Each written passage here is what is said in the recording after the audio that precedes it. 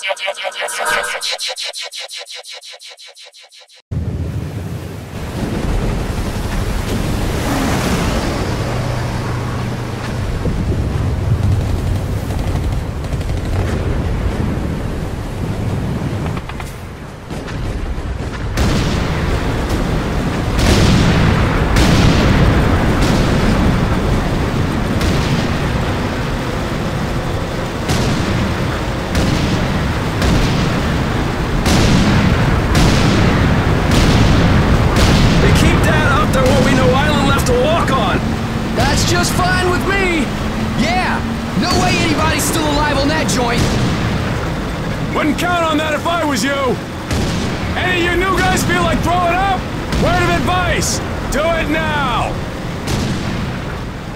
Three week wonders. That's what we called the new guys. That's all the training they got, and it wasn't enough. They usually didn't last very long.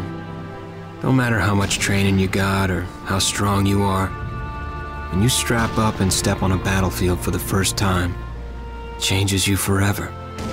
Tarawa was just another strip of sand out in the middle of nowhere, but for many of us, it would be the last thing we ever saw.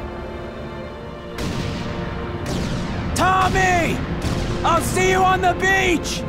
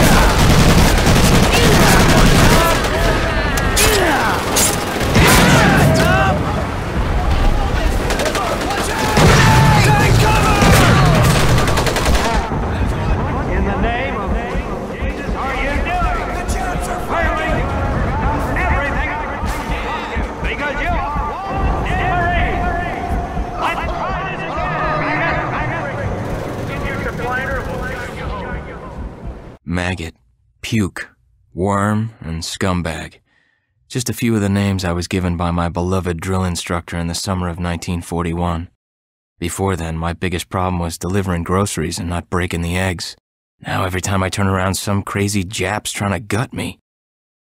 I remember asking the recruitment officer, What's the deal with you guys? I swear to God, he looked right through me and he said, Deal? We're Marines, son, and we deal in lead. Next thing I knew, I was on a train for San Diego.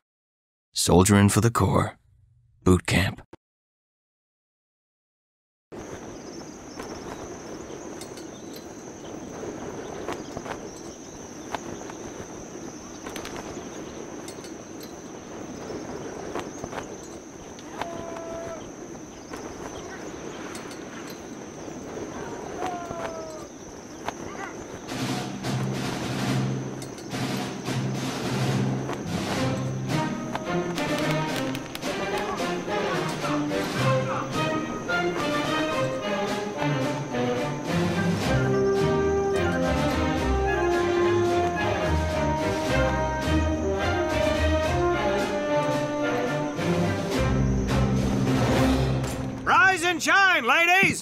Beauty sleeps over, front and center. Do you understand me?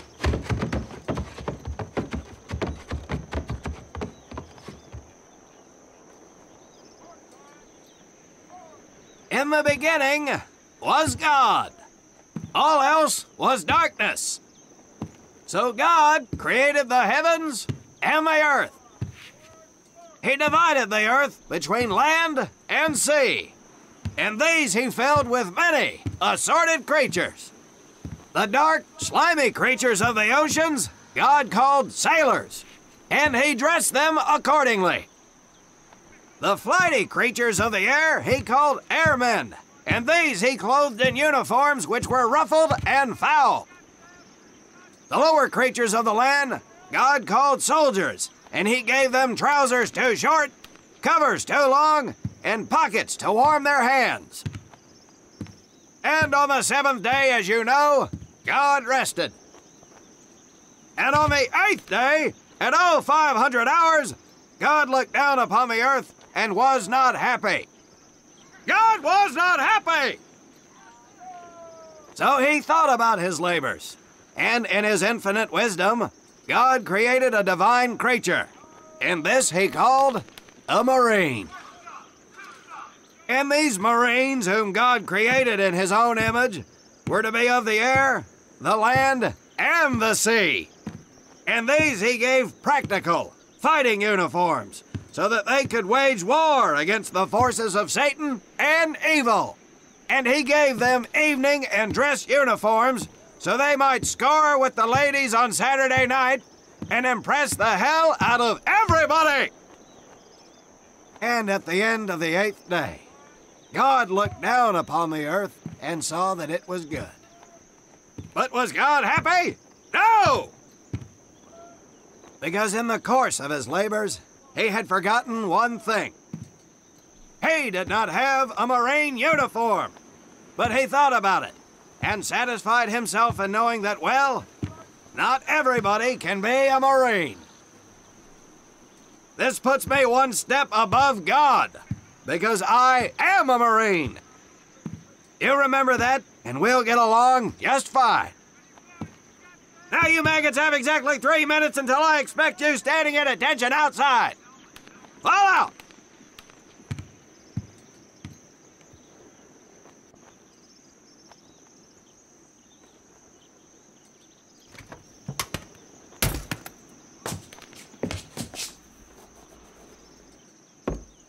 Whew. He scares me, Frank. I think maybe he is God. Well, Jimmy, just keep your head down and do what he says, and we won't have to find out. Willie, you coming? Oh, yeah, Frank. Oh, hey, Tommy, right? Uh, Tommy Conlin? Uh, my name's Willie Gaines. This here's Frank Minoso and Jimmy Sullivan. Where are you from, Tommy? Oregon. You? Guys, let's head out. We don't want to piss off God, do we?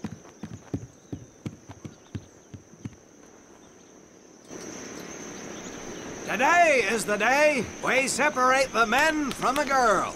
You little pukes will learn the basic necessities for survival, and then maybe, I said maybe, you will become a part of the United States Marine Corps. Are you ready? Aye, Sergeant! Now, Baker Squad. You are to sit tight and wait for your babysitter to show up. I am not him. Able Squad, I want to see you ladies hightail it over to my obstacle course on the double. Move out! I want to see nothing but asses and elbows, ladies! Let's make them proud, boys. Stick together. You got it, Frank. Come on, Jimmy. Tommy?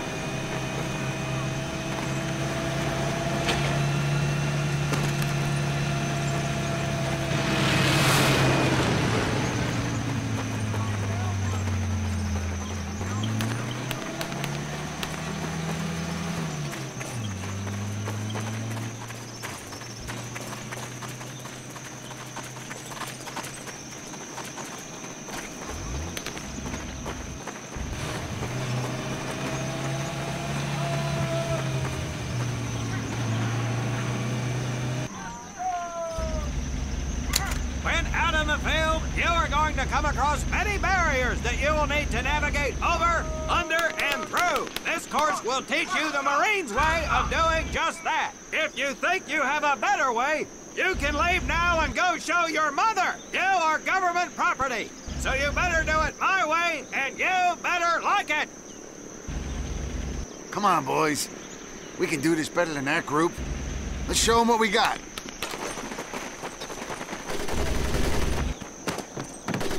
Now, not bad, ladies. Now run through those tunnels. This here in front of you is the Marines' mud pit. Think of it as your own.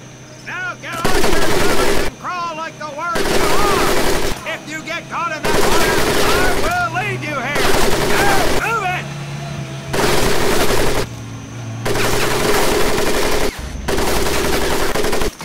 We don't have all day, sweetheart. Get up and over those ladders.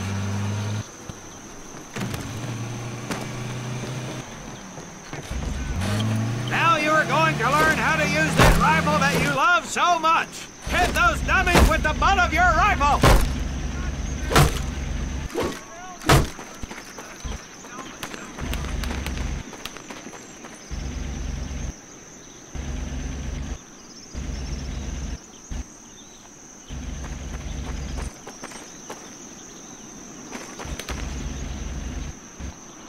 Get across the pit using the balance board.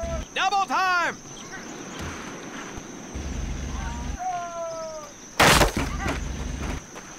Sergeant! Uh, I'm sorry, You I... will not apologize. You will continue to destroy the enemy any way you can. What are you turd balls looking at? If the rest of you had half the strength of Private Minoso, I might actually have something to work with. Well, I can't believe you all made it through in one piece. Now let's see how you girls handle the business end of your weapon. Get your butts onto that transport and we'll finish on the firing range. Move it!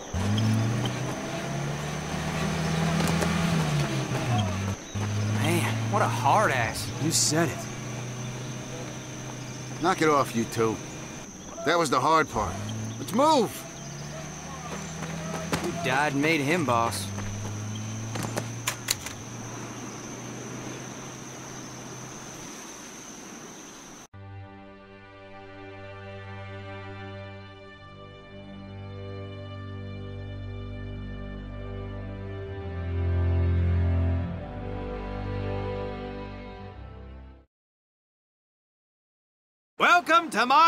Firing range. You will listen to every word I say. I have not lost a single scumbag on my firing line, and I will not lose one today. Do you ladies understand me? now gather up some ammo, pick a spot on the range, and we'll get to work.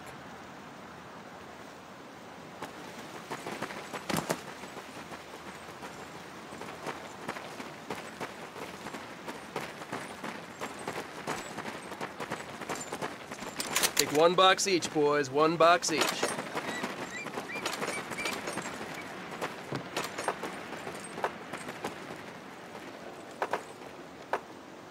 Aim at the target in front of you. If you hit one, and I mean the bullseye, wait for it to be replaced with a new one. If you move, it will not be very accurate. So keep those boots planted. If you kneel down, you will be more accurate. And getting down in the dirt is even better. So try all three positions. Ready on the right. Ready on the left. Stand by, targets. Fire!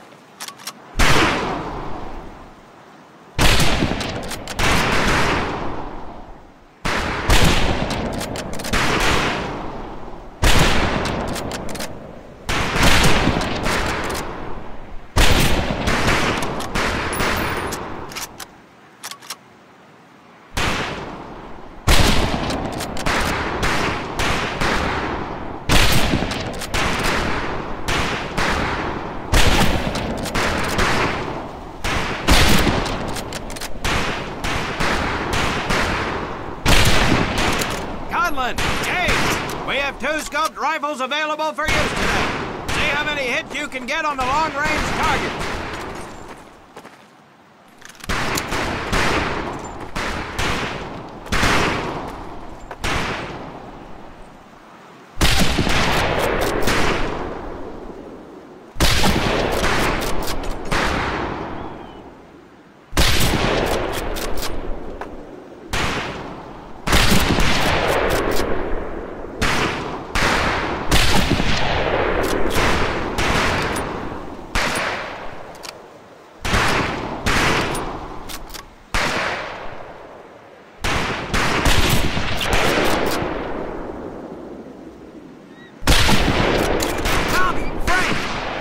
Really? That's right, ladies crack. Just get me over to Germany, me and this rifle will win that war all by our lonesomes. Talk is cheap, Private. That's some pretty fair shooting. Let's see what you boots can do with the autos. You four head back to the ammo table and Corporal Bates there will issue you each an M1928A1 Thompson submachine gun. Do not let those rifles hit the dirt, maggots.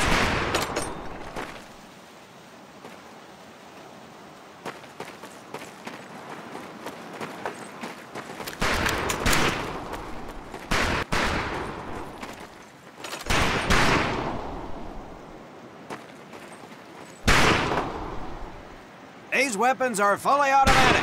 Now that does not mean that you should just spray and pray. Take your time to aim and fire the weapon in short bursts only.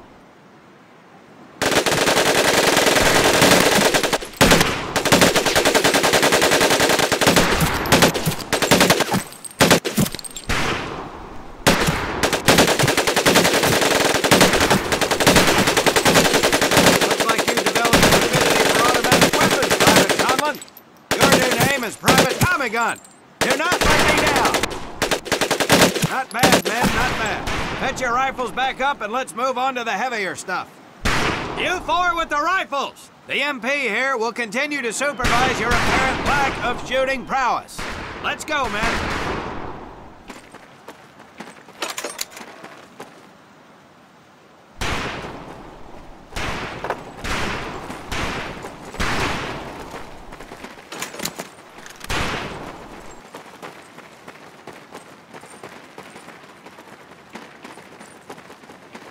Hold up, Private. I'm gonna need to take those weapons from you.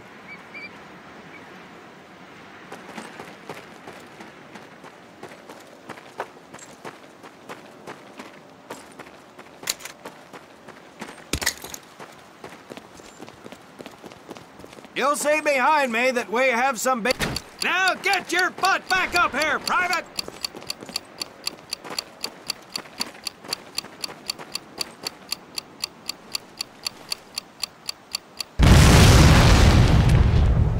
Good work, Private Conlin. You may just yet make PFC. Let's move over to the grenade station.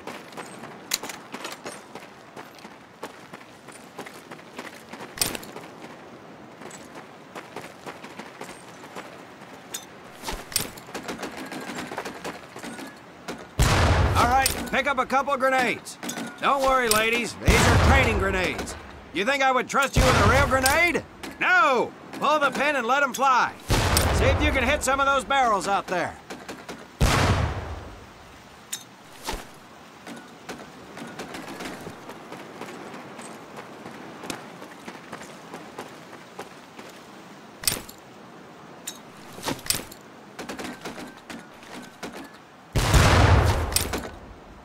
Very well, pond scum. Some of you could do better, but it'll do.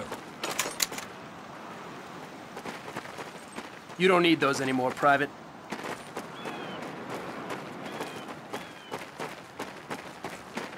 Now here we have my personal favorite, the M1919A430 caliber machine gun.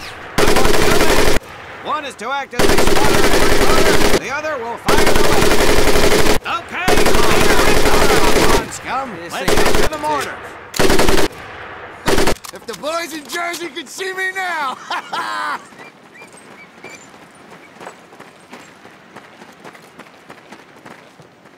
You may notice we have a fine piece of kraut craftsmanship on the mortar range. Well, you maggots are the first to get a crack and bust in that jerry can. Well done, Private Conlin. Your heavy weapons proficiency has been duly noted.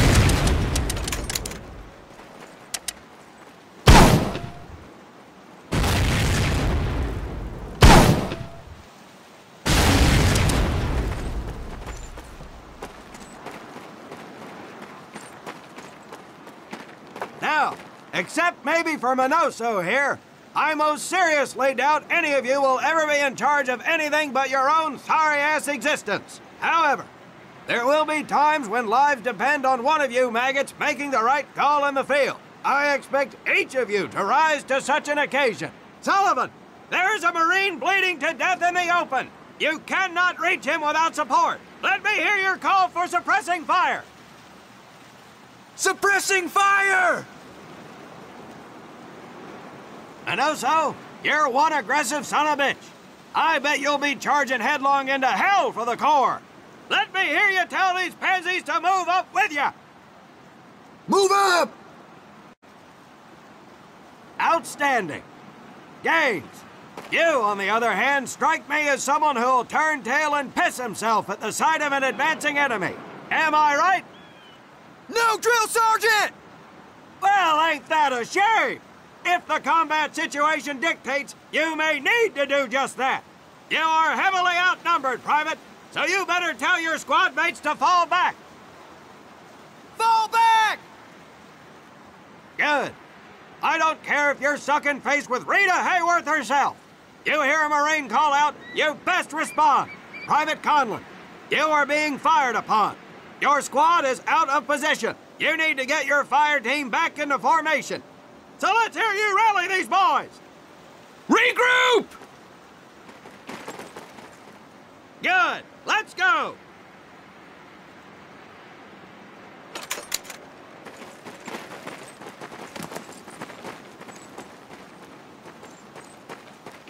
All right, men. That's enough for today.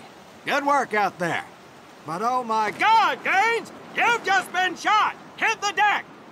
I said hit the deck! Now, there's two things to do if and when you are hit by an enemy in combat. Number one, apply pressure to the wound. Next, if you can, call for a corpsman. If you're lucky, one will be around somewhere nearby. Private Sullivan, I understand you have a medical background. Yes, Sergeant! Well, lucky us.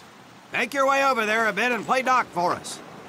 Conlin, you take Private Gaines over to Doc to get him patched up, and then hightail it back over here ASAP. Careful where you squeeze me there, Tommy.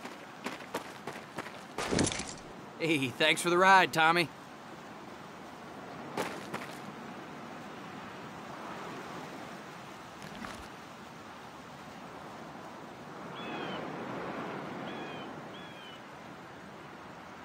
Well done, Private Conlin. But you've just been shot as well. Hit the deck. Apply pressure to that wound, Private, or we will lose you. Now, call on that corpsman so we can get you patched up and back into action.